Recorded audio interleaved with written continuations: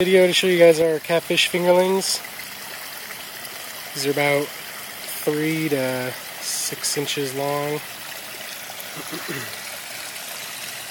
and they're doing well.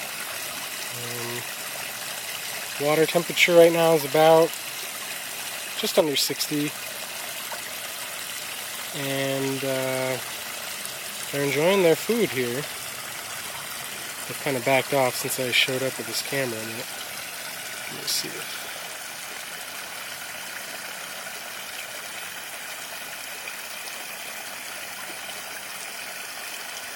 Yeah, as soon as I back away, they get a little more confident.